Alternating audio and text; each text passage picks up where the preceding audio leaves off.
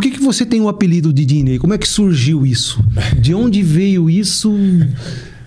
Como é que começou essa história do Dinei? É verdade, você falou meu nome aí, for falar, ninguém conhece, né? Só, só a minha família lá que chama de Telmar. E quem, quem é esse?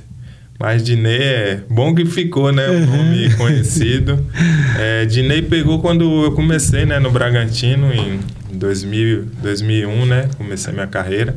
Até tarde, já tinha 17 anos. É, saí do interior da Bahia lá, fui fui tentar a sorte lá em Bragança Paulista e acabei dando certo lá. Foi lá onde tudo começou.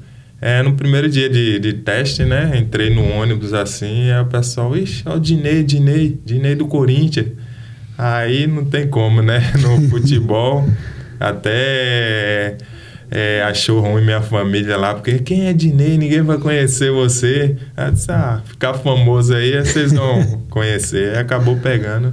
É, foi lá no Bragantino mesmo. Pela semelhança do, do Dinei do Corinthians.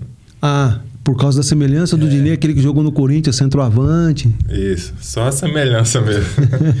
eu acabei indo pro Palmeiras, né? Com o nome de Dinei, os caras. Ficou um negócio meio estranho, né? Mas acabou dando certo.